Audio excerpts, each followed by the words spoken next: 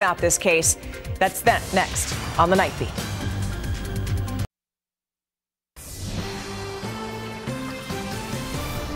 One man facing charges after a one year old was sent to the hospital with fractured ribs and lacerated organs. Now, we're going to show you a mugshot here. This is 19 year old Ricky Billups. He's charged with injury to a child causing serious bodily injury.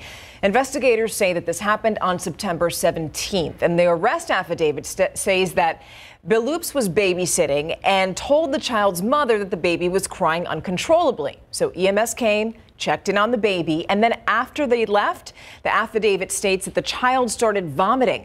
Eventually, the baby's grandmother took that child to the hospital, and that's where doctors found the extent of that child's injuries. Now, Billy Billups is in jail, and his bond is set at 100 grand.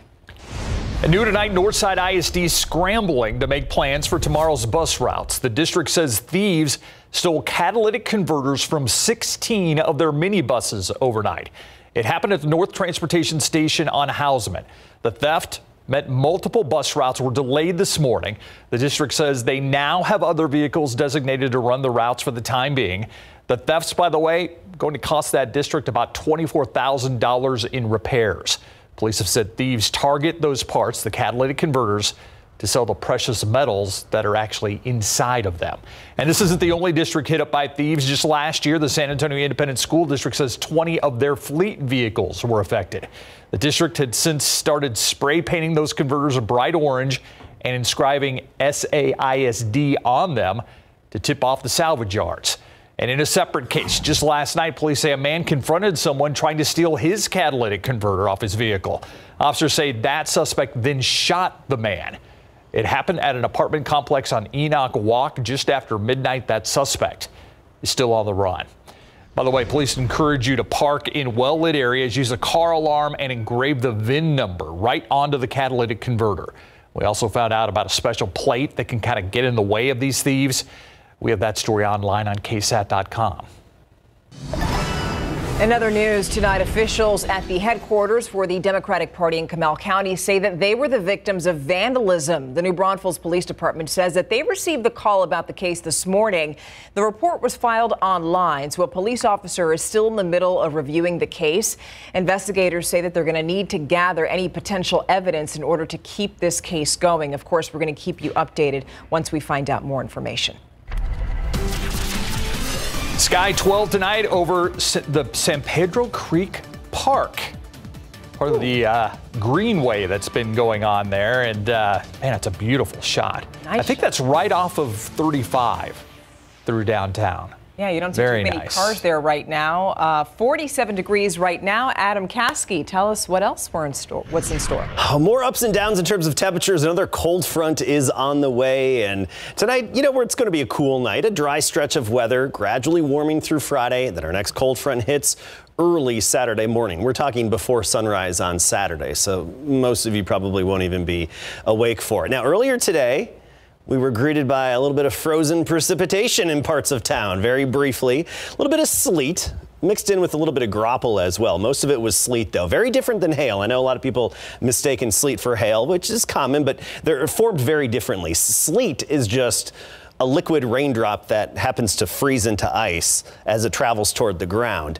And hail is formed in thunderstorms by a, by a very different process. But this is brief and just kind of a little gee whiz factor out there earlier today. Looking at the satellite and radar across the state, especially right in the central part of te Texas between I-20 and I-10. You saw a lot of radar activity. It was a little misleading today, though, because a lot of this was actually just very light in nature, even though you see the reds, the oranges, and the yellows, which would typically indicate heavy precipitation. A lot of what we saw here was the radar detecting melting precipitation. So snowflakes and ice melting, which then gives it this big bright display on the radar screen. But really not much moisture was picked up from this activity as it moved through not just our neck of the woods, but other locations north of us. Around Lake L LBJ, they actually had some accumulations of up to a half an inch, but otherwise it was a tenth of an inch or less for most folks, even less than that. So upper disturbance and even a little jet streak associated with it moving out of here. There is a weak disturbance right on its heels near El Paso. That's going to slide southward tomorrow and just gradually clear our sky. So here's a look at our future cast. The precipitation, it's all gone. I wish I could tell you we had good rain chances in the forecast. Unfortunately, we just don't. We've got 0% for the foreseeable future. Low clouds to start the day tomorrow, and then we'll be clearing gradually from the north to south. So those of you in the hill country, you'll clear late morning, locally around Bexar County, surrounding counties, probably around the early afternoon. And then those of you farther south of town, I mean, we're talking Carrizo Springs, Crystal City, Cotulla, Tilden, Fowlerton, you'll clear later on in the afternoon. So just gradual clearing throughout the day tomorrow. And again, I'm sorry, rain chances not looking good from here on out. They added up to a hundredth of an inch today at the airport. 37 this morning, then a high temperature of 49, so unseasonably cool. Right now, we're at 47. Temperatures gradually falling off. This deck of clouds acting like a bit of a blanket, so temperatures just slowly drop and really don't fall off quickly. Stinson now 52, 48 Hondo, 44 in Canyon Lake. 47 in Uvalde, at the freezing point in Ozona, but Junction at 41. And tomorrow morning, most of us in the mid and upper 30s. That's along and west of I 35. But you get closer to the Gulf coastline, a little bit more moisture in the air, and you'll be well into the 40s, Beeville, Victoria, Goliad areas. But by tomorrow afternoon, 60s. We're talking mid 60s. Then Thursday and Friday, low 70s, only to see another cold front hit and drop us into the 50s for pretty much the whole day Saturday. And by the way, the wind will be a factor in your day Saturday. You're not going to notice the wind until this weekend. By Saturday with that cold front, it's going to be gusted up to about 45 miles per hour, but just light and variable tomorrow. Becoming sunny, temperatures making it into the 60s. Again, you're not going to notice the breeze until we get into Saturday. And behind that Saturday cold front, we are expecting now a light freeze by Sunday morning, maybe even Monday morning as well. The roller coaster continues. Jeez, indeed. All right, let's talk about the Cowboys. Jerry Jones has a certain number in mind. He's expecting a certain amount of fans to be at the AT&T Stadium.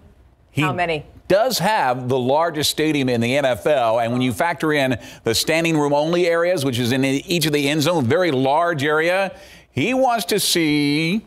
We'll let you know. Jerry Jones was expecting a very large crowd for the first playoff game since 2018. What are the numbers he's looking at? He will tell us when we come back. And are the Cowboys healthy to start the playoffs? That's the biggest question coming up. Pro football coverage powered by Davis Law Firm. The Dallas Cowboys prepare to host the San Francisco 49ers to kick off the NFL playoffs, and the Cowboys will be only three point favorites against the six seeded team. Since opening in May of 2009, the Cowboys AT&T Stadium has hosted four playoff games, the largest attendance announced at over 94,000. That was for the Seattle Seahawks back in 2018. But keep in mind, with standing room only, the stadium has a capacity of over 105,000, which they hit in the home opener for the 2009 season against the Giants. That's more like what Cowboys owner Jerry Jones wants to see when asked about it today his weekly radio show in Dallas. It'll be Cowboys home game. There's no question about it. Home playoff game, and it'll be roaring. When that when that bunch uh, cranks up, and when you have ninety something thousand people, uh, I was trying to look at it. You know, we have to limit what we can put on our uh, standing room only out there. We have to limit that amount, but uh, I'd like to push that hundred thousand this week. There you go. Now the question is just how healthy will the Cowboys be for the first playoff game since 2018? Remember, star rookie linebacker Micah Parsons had to miss the regular season finale against the Eagles after he tested positive for COVID-19, along with left tackle Tyron Smith and cornerback Anthony Brown. And even though we never heard if cornerback Trevon Diggs ever tested positive, he also missed the Eagles game due to an illness. Cowboys head coach Mike McCarthy gave us this update on who will be back for the start of the postseason. Between today and tomorrow, we'll, we will start to bring a number of our guys off. So I, I think the goal is to have everybody back by Thursday. I think we have we have uh, Jayron is probably the only one that may be a little longer. So exactly who's coming off today and who's tomorrow, I don't have it here in front of me, but I, I know definitely by Wednesday morning when we get together, we, we should be in really good shape. All right, Joe Judge became the latest coaching casualty in the NFL today after the New York Giants decided to fire him after only two seasons, two losing seasons. Judge, who was a first-time head coach, went 10 and 23 in two years, now becomes the third consecutive Giants coach to be fired after two seasons or less. Judge now becomes the seventh NFL coach to lose their job during the 2021 season, and it should not be a surprise that both Dallas defensive coordinator Dan Quinn and offensive coordinator Kellen Moore's names have been mentioned regarding some of those vacancies. Our San Antonio Spurs return home following their worst road trip of the season, going just one and six on their second longest road trip of the year, second only to the rodeo road trip coming up next month. The lone victory was on January the 5th over the Celtics in Boston, 99-97, and Dejounte Murray's first game back after being sidelined for five games in the NBA's health and safety protocols. The Spurs wanted to manage his minutes, but could not afford to do that as he scored 22 points in 33 minutes, including the last-second defensive stand to prevent Boston from tying the game. There is no question that Murray belongs to be an NBA All-Star this season. But following the 111 to 96 loss to the Knicks last night in New York, the Spurs are on pace to win just 30 games this season. He's had an all-star year. It's just that, you know, if your team doesn't have a, a good record, it works against you. And there are a lot of good point guards in the West. So uh, what he's concerned with is steady improvement, which he's done, both, you know, technically on the court and leadership-wise. He's been great. You know, there was no way I could keep him off the court tonight. You know, I don't know. We've been on the road. I don't even know, 13 days, 12 days, something like that. And this was five and seven nights, and he wouldn't even think about it. You know, he wanted to, he wanted to play. That's just who he is. So the Spurs will be at home 11 of their next 13 games, including seven in a row, starting tomorrow against Houston, followed up by Friday against Cleveland, Saturday the Clippers, Monday Phoenix, and the following week on Wednesday against Oklahoma, Brooklyn, and then Philadelphia on the following Sunday. That's the only early tip time, 6 p.m. New National College Football Champions take over after 40 years of the making next.